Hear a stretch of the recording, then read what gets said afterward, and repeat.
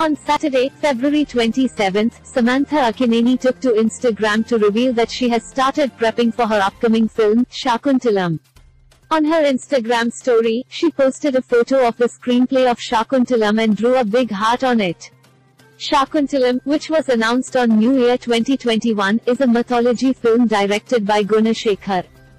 Samantha begins her prep for Shakuntalam. Samantha has been shooting for her Tamil film Kathuvakula Rendu Kadhal, directed by Vignesh Shivan. Now that she is on a scheduled break, she has started preparing for her forthcoming film Shakuntalam. Directed by Gunashekhar, the film is based on Kalidasa's epic Sanskrit play Abhijnana Shakuntalam.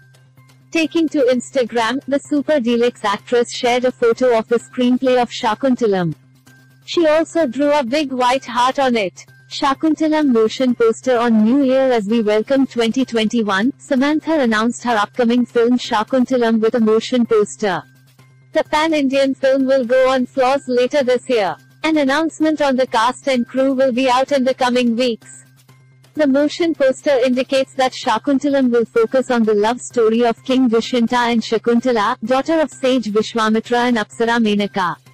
Announcing the film, Guna Team Works wrote Shakuntalam. Kavya Nayaki. Here's the big reveal motion poster.